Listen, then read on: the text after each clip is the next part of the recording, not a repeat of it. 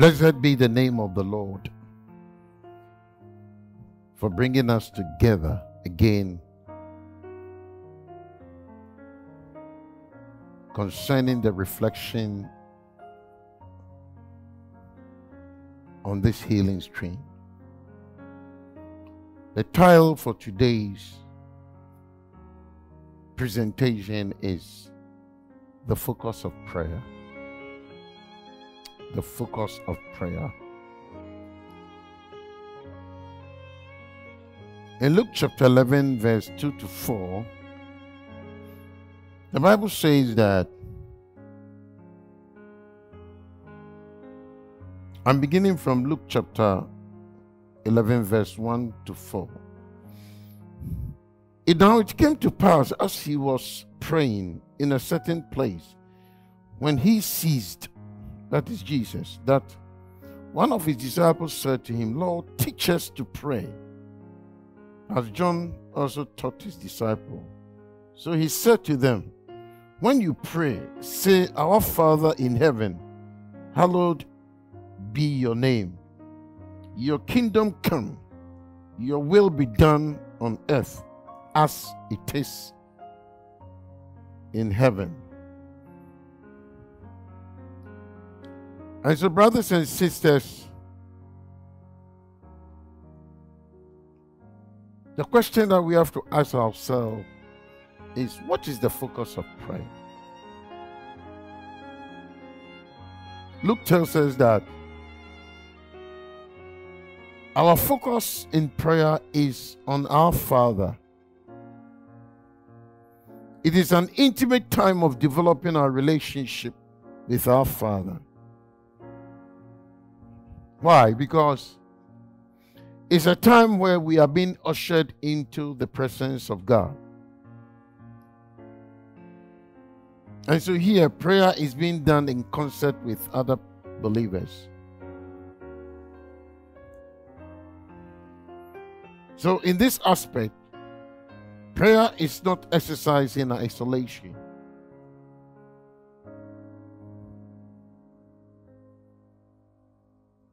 It means we congregate together as brothers and sisters.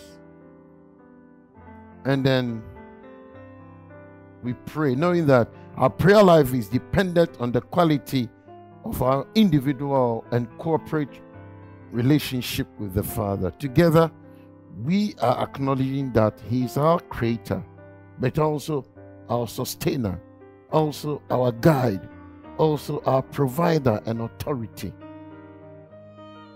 Why not? Because He's our Father.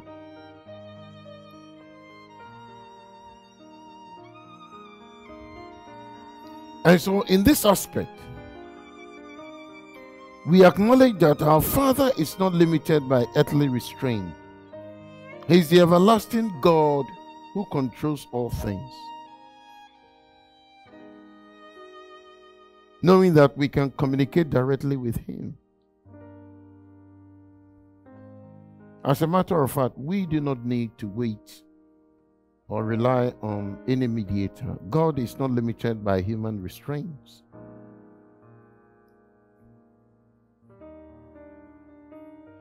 Because it is clear that earth has no sorrow that heaven cannot heal. The Lord is in the heavens. And so, in this aspect, prayer is a bridge from our earth bound limits to the heavens' infinite resources. So, in a sense, what are we saying?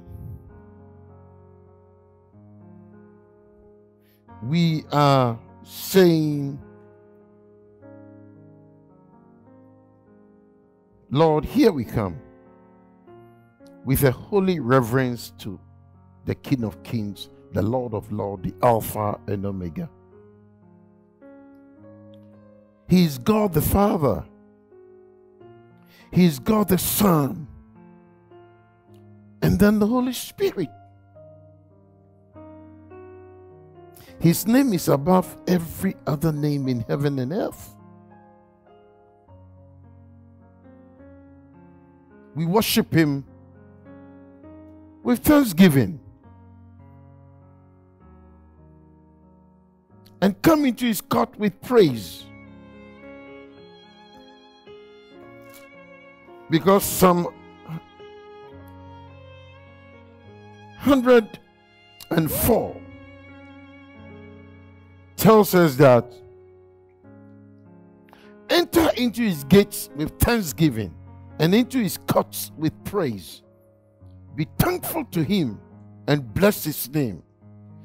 So, anytime we enter into our prayer cross set, we enter, it's like enter into the gates of the throne room of God. But we do, we do so first with thanksgiving. We do so first with thanksgiving. I know others could start with confession. It's okay. But according to the psalmist, he says that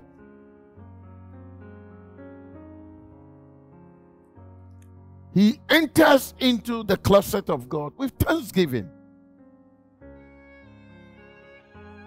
Nehemiah will tell you that he will always enter into the closet room of God, not with thanksgiving, but with confession.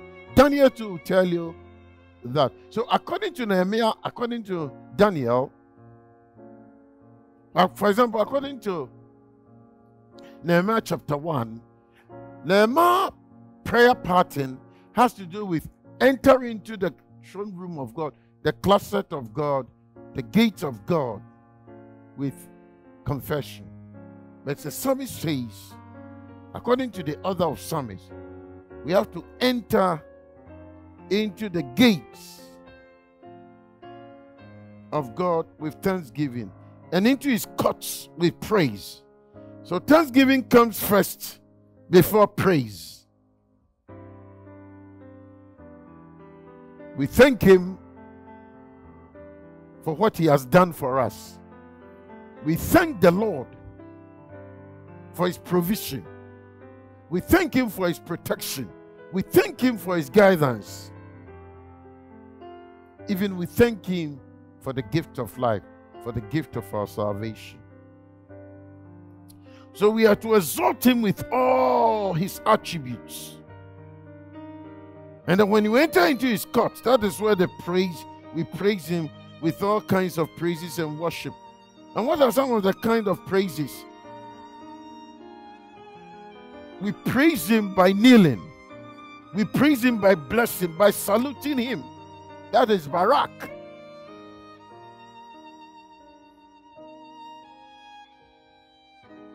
And the second one is by glorifying and praising for his mighty deeds with a loud voice. That is Shabach. That is the Hebrew word Shabach. And then the Hebrew word Yada means we praise him with extended hands. We lift our two hands, we extend it wide. It's a form of surrendering, but this surrendering is not about confession, it's about telling Him that you own me, you created me, my life is in your hands, and therefore I praise you.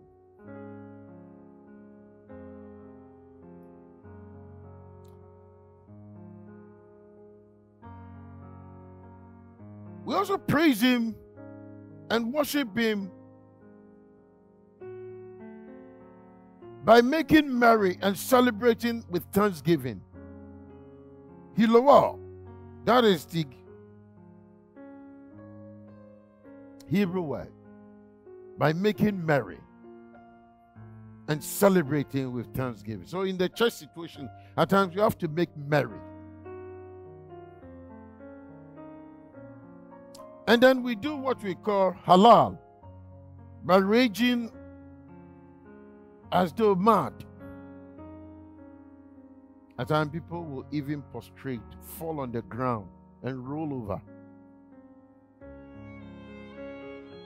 And then we do taqwa by clapping hands together in rejoicing. We normally do it a lot when we are praising God. We clap our hands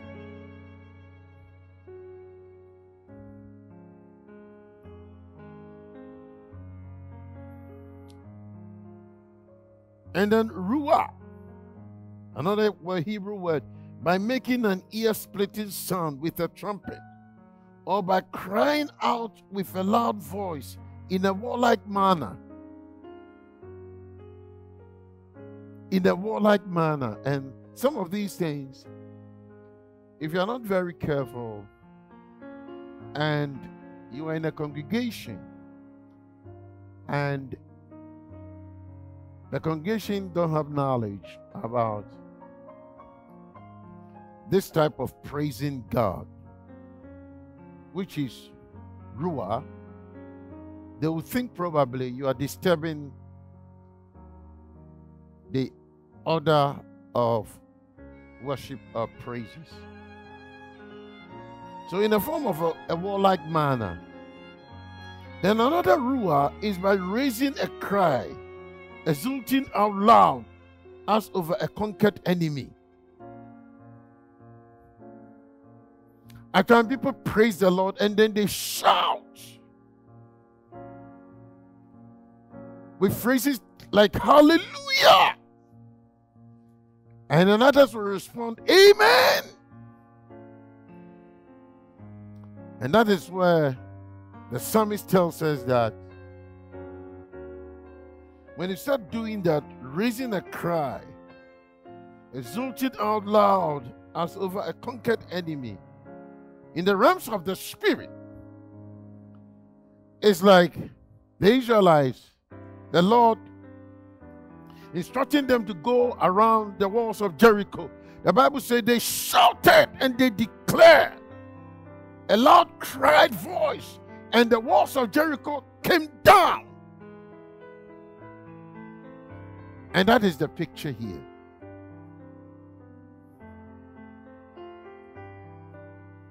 by crying out with a loud voice in the warlike manner. And also by raising a crying, exulting out loud as of a conquered enemy. Then another aspect has to do with Zamar by harping on chords and making music with instruments, especially those who are well versed in handling the guitar, different kinds of guitar or instrument, be able to do that. I quite remember Ron Kenoly.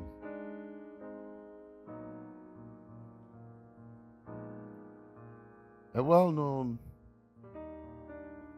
Christian musician in America, as one of his instrumentalists who is very good at doing that. Because these are scriptural injunctions when it comes to praising the Lord, worshiping Him. Then the other aspect is by making a shrill sound of joy and gladness with triumphant proclamation, singing and rejoicing.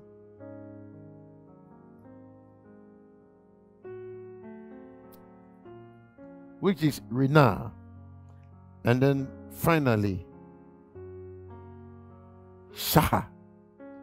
Shah, the Hebrew word Shah, by prostrating or bowing down in homage and reference and worship. Bowing down. There was a time when one of my church members bowed down in front of the altar and he was prostrating, praising the Lord and thanking him in advance because there was this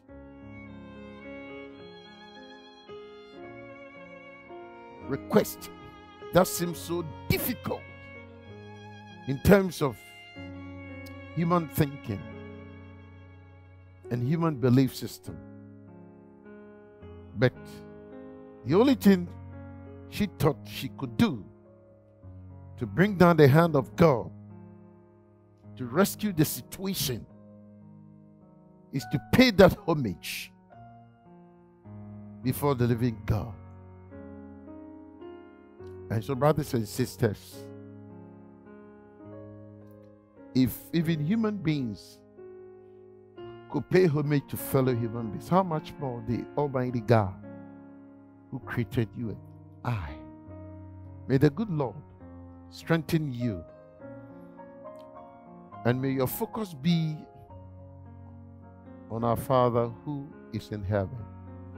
Indeed, his name must be hallowed in all aspects of our life. God bless you for listening. Bye bye.